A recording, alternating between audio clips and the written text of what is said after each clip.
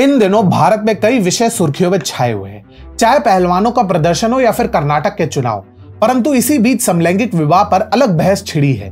प्रकृति के विरुद्ध चलने की खुजली अब भारत में दस्तक दे रही है, परंतु इससे पूर्व इसे आधिकारिक प्रविष्टि मिलती सीजेआई चंद्रचूड़ ने कह दिया, यह सरकार का काम है एम आउट नमस्कार मित्रों टीएफआई पर आपका हार्दिक स्वागत है और मैं अनिमेश पांडे आपको परिचित कराऊँगा समलैंगिक विवाह पर विवाद से और कैसे अब तक एलजीबीटी समर्थक रहे सुप्रीम कोर्ट के जजों ने अचानक से हाथ पीछे खींच लिए हैं।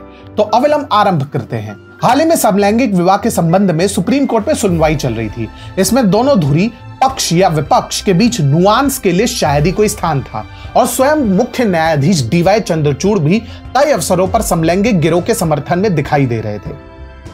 परंतु एक समय संविधान तक को चुनौती देने को तैयार सीजे चंद्रचूड़ ने अचानक से पलटी खाते हुए कहा कि इस विषय पर सरकारी मान्यता के बिना काम नहीं चलेगा। उनका तर्क स्पष्ट था। कोर्ट सरकार का काम नहीं कर सकती। हमारे लिए कुछ सीमाएँ हैं जिन्हें हम लांघ नहीं सकते। बातों ही बातों में सुप्रीम कोर्ट ने यह सिद्ध कर दिया कि सेम सेक्स मैरिज पर अंतिम निर्णय सरकार का होगा। परंतु सीजे चंद्रचूड़ तो कुछ दिनों पहले स्वयं प्राइड परेड के ध्वजवाक नज़र आ रहे थे, नहीं? अचानक से ऐसा परिवर्तन कैसे? इसके दो कारण हैं, जिनमें सर्वप्रथम है सॉलिसिटर जनरल तुषार मेहता। उन्होंने चंद्रचूड़ को उन्हीं के तर्कों से आश्चर्यचकित करने में कोई कसर नहीं छोड़ी।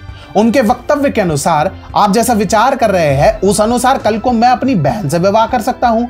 क्या आपके विचार में यह विवाह वैध है? अगर संस्थाएँ इसका विरोध करें तब भी।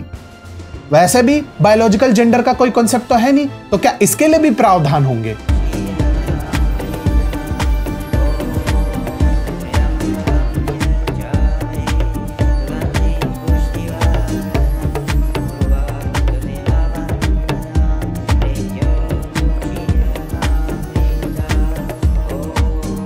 इस पर अधिकतम समय आक्रामक रहने वाले चंद्रचूड़ अंकल की बत्ती गुल हो गई और वे अगर मगर में उलझ गए।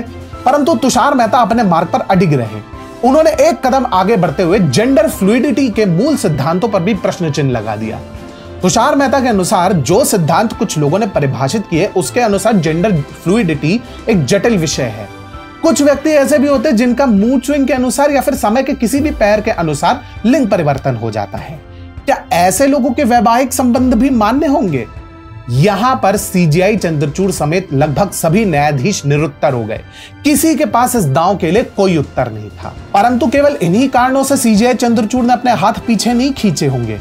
जिस दूसरे कारण से उन्होंने सरकार के पाले में गेंद डालने को विवश हुए हैं, उसमें कुछ हद तक स्वयं तुषार मेहता का भी हाथ है और जनाक्रोश का भी। वो कैसे? तुषार मेहता ने अपने वक्तव्य में स्पष्ट किया कि विवाह के संबंध में भारतीय अधिनियमों में 160 से भी अधिक प्रावधान है। क्या उन सबको भी बदला जाएगा?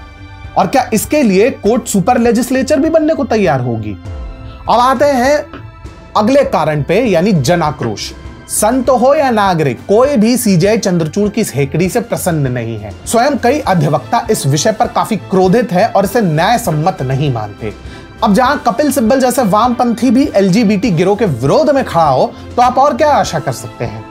इतना ही नहीं, बार काउंसिल ऑफ़ इंडिया ने भी सर्वसम्मति से प्रस्ताव पारित करते हुए समलैंगिक विवाह को अनमने तरीके से लागू करने का विरोध किया। अब यदि इसके बाद भी सीजे चंद्रचूड़ अपनी हठ धर्मिता पर अड़े रहते तो फिर वे भी जानते हैं कि उनके लिए और कॉलेजियम व्यवस्था के लिए कितना हानिकारक होता। आपको हमारा वीडियो कैसा लगा, कमेंट सेक्शन में अवश्य साझा करें।